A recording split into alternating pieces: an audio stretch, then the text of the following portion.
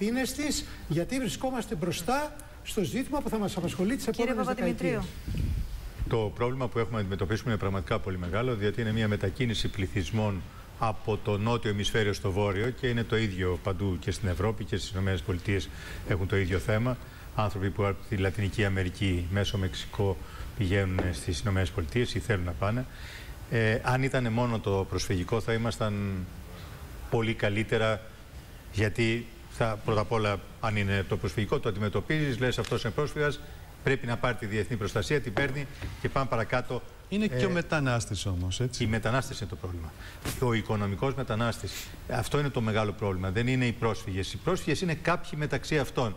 Και ε, ευτυχώς σταδιακά έχουν μειωθεί. Το πρόβλημα είναι οι οικονομικοί μετανάστες και αυτό δύσκολα θα καμφθεί για πολλούς και διαφορετικούς λόγους.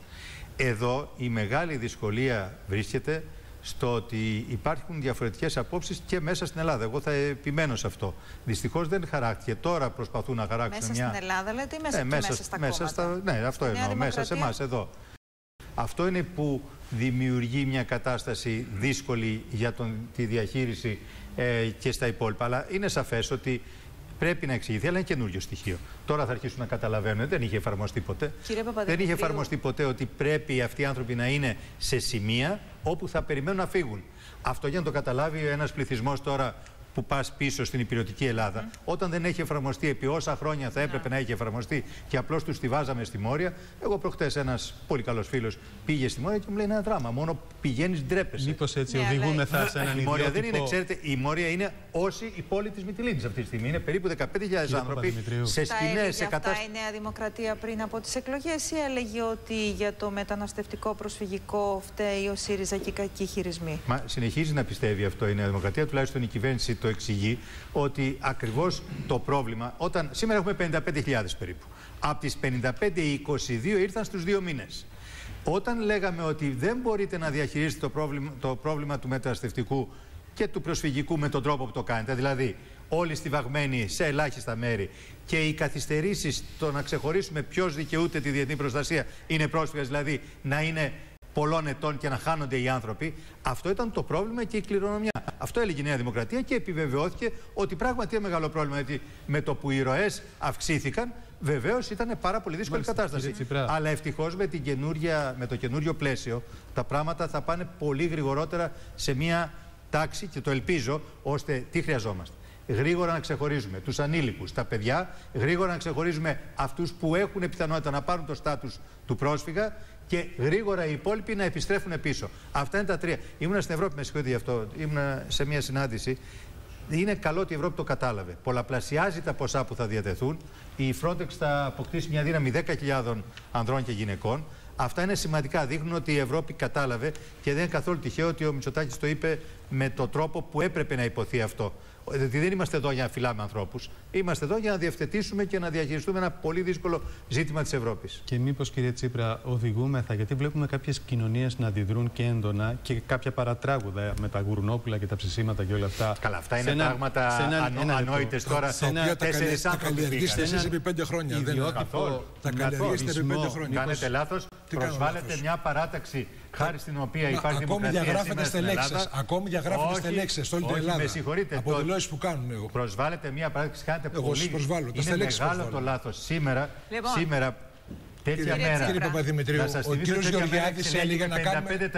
ο κύριος Γεωργιάδης έλεγε να κάνουμε τη ζωή των προσφύγων δύσκολη. Ήταν δήλωσή το 2013. Μη συζητάμε. Το κρεμάσατε.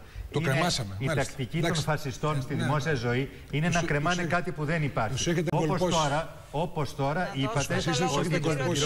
Για να μην συζητούμε και το χρόνο από τον κύριο Καμίνη. Είναι κακό. Βλέπετε ότι επενδύεται μόνο στο διχασμό. Επενδύεται μόνο ναι, ναι. στο να κάνετε ό,τι ξέρετε. Επί πέντε να χρόνια, επί πέντε χρόνια λαϊκίζατε πάντω στο, λοιπόν, στο μεταναστευτικό. Επί μια μειοψηφία ανθρώπων που σκέφτεται, που σκέφτεται τρελά, που πάει να προσβάλλει τους μουσουλμάνους, ναι. την ανάγεται σε πλειοψηφία σε αυτή τη χώρα.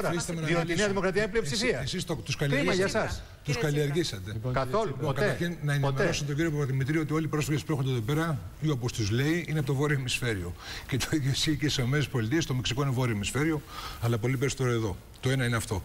Το δεύτερο, έχουμε μια κυβέρνηση. Είπατε ότι έρχονται από το νότιο ημισφαίριο. Από το βόρειο είναι όλοι. Αραβικές χώρες, Αφγανιστάν, Πακιστάν κτλ. είναι όλοι από το βόρειο ημισφαίριο. Ε, δεν είναι από το μετακόμισε τελευταία προφανώς, αλλά δεν έχει σημασία. Ούτε δεν μετακόμισε, είναι το βόρειο ημισφαίριο. Δεν ναι. το γνωρίζετε, δεν πειράζει. Γεωγραφία δεν μάθουμε εδώ πέρα. Τώρα πάμε παρακάτω. Αφήστε με να μιλήσω τώρα. Αφήστε με να μιλήσω. Δεν λοιπόν, διαφωνείτε ότι αυτή είναι η οικονομική μετανάστευση. Δεν είναι από το νότιο ημισφαίριο. Σας λέω γεωγραφικά είναι λάθος. Ναι. Λοιπόν, ε, επί της ουσίας, υπάρχει η εκδήλωση μιας πολύ μεγάλης ανικανότητας της κυβέρνησης να διαχειριστεί το προσφυγικό, που τώρα έχουμε αυξημένες ροές.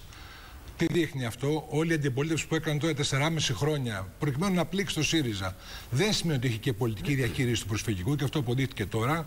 Θα σας πω ένα μόνο στοιχείο. Η αύξηση των ροών που υπάρχει τώρα είναι λιγότερη από το 1 δέκατο των ροών που υπήρχαν το 2015. Λοιπόν, ποτέ στη Μόρια επί 4,5 χρόνια δεν ξεπέρασαν τις 6.000 οι πρόσφυγες που είχαν συγκεντρωθεί εκεί. Ποτέ. Και σήμερα έχουν φτάσει στι 15.000. Ο ίδιος ο Υπουργός κ. Χρυσοχοίδης παραδέχτηκε ότι υπάρχει αδυναμία διαχείρισης στα νησιά. Δεν είναι λοιπόν, διαχειρίσιμη η κατάσταση στα νησιά. Συνεπώς υπάρχει. αδικήσει τον κύριο Καμίνη. Υπάρχει. Όχι, δεν τον έχει αδικήσει, μιλούσε που λέω προηγουμένως. Υπάρχει λοιπόν μια τεράστια ανικανότητα διαχείρισης του προσφυγικού, η οποία συνδυάζεται με το γεγονός ότι η Νέα Δημοκρατία σήμερα πληρώνει αυτό που καλλιεργούσε επί πέντε χρόνια με την ακροδεξιά, όχι μόνο με το μακεδονικό, αλλά και το θέμα του προσφυγικού, στο ότι δεν υπάρχει διαβούλευση με τις τοπικές κοινωνίες προκειμένου να υπάρξουν ορισμένες λύσει. Η κυβέρνηση του Τσίπρα λοιπόν, δεν πήγε να κάνει μην με συνέχεια. τέτοιο κέντρο. Δεν κανένα τέτοιο κέντρο. Δεν σας διάκοψα, μην διακόπτε συνέχεια. Ναι, ναι, Μάθετε πρώτα γεωγραφία που είναι το νότιο ημισφαίριο και το συζητάμε. Λοιπόν, κύριε Καμίνη, και να εντάξουμε στο πλαίσιο των απαντήσεών σας και το ζήτημα της ε, συνταγματικής αναθεώρησης. Τώρα πώς θα πάμε από το Έλατε. Το ένα στο άλλο. Λοιπόν, όχι, για το προσφυγικό νομίζω ότι αρκετά είπαμε.